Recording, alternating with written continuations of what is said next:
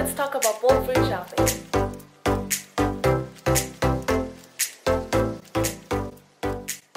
By bulk food shopping, I do not mean going to Costco and buying in bulk that way. I'm talking about bringing your own containers to a store that has bulk bins. Bulk food shopping is not only great for the environment because by bringing your own container, you are reducing plastic waste, but if you care about aesthetics, if you open your kitchen cabinet, it looks beautiful. And that's always a plus, in my opinion. Bulk food shopping can be a lot cheaper because you are only paying for the food and not the packaging. You are able to try some foods you, maybe you've never tried, but you can get a really small amount of it, therefore not committing to a larger amount and paying less. And also, if you need an ingredient for, let's say, a recipe that you're making, you can buy just the amount that you need for the recipe. So an example of that is when I got some cornmeal because I needed it to make some corn muffins, which I do not make that much but I only paid like 30 cents for the cornmeal and also cranberries that I needed for a recipe. I didn't have to buy like a big bag of it. I was a little bit lost when I first started bulk food shopping to be honest. I'm gonna talk about some things that I wish I knew before I went bulk food shopping for the first time.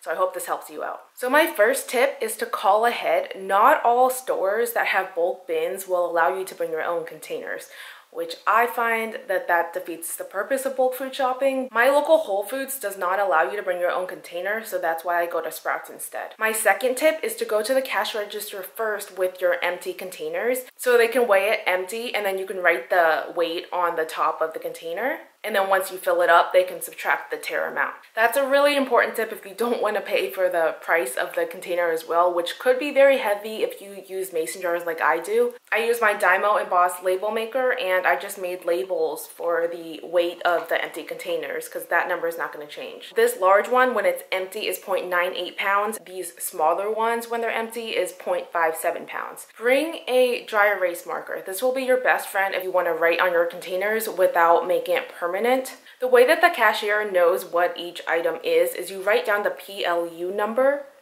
and you can see that it says 6333. You can find the number easily on the label of each bulk bin. It's pretty much the only number that's gonna be on there. And the reason why I use the dry erase marker is because I don't have to fill up the same item in the container every single time. Let's say I need cornmeal this first time and the next time I'm gonna fill it up with sugar, then it's gonna be a different number on top. So you see that number? I could just easily wipe it off like that. For my next tip is to bring reusable produce bags. You can either buy these online, I see them on Amazon. I randomly made these one night. I used a flat sheet that I'm not using and some leftover macrame string that I had it took an embarrassing amount of time because I don't have a sewing machine. If you do have a sewing machine, it will take you probably two seconds. I also made some smaller ones.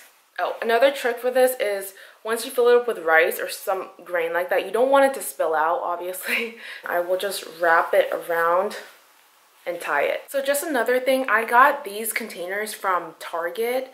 I bought a whole pack of them because I use them for other things around my place if you watch my apartment tour videos. I use them as drinking cups too, so that's why I bought packs of it, but you can just use things like empty pasta containers and stuff like that so you don't have to go out and buy containers just to go bulk food shopping. I just try to plan out what I want to buy and I will bring the appropriate amount of containers for that. And it's actually not too heavy for me to bring these glass jars. I just bring it in my Trader Joe's reusable grocery bag. This is kind of cushiony because it's lined inside. I find that it kind of makes a cushion around the jar so they won't break. I use these bigger ones for things like grains that I will need a lot more of, such as rice, because I keep my rice in a container like this. This is a massive mason jar. You don't want to bring a container this large because you'll probably break it and it's just going to weigh you down. I just fill up the rice with this and then they do have these tags there. Not every single employee knows how to deal with bulk foods and that's just been my experience. I've had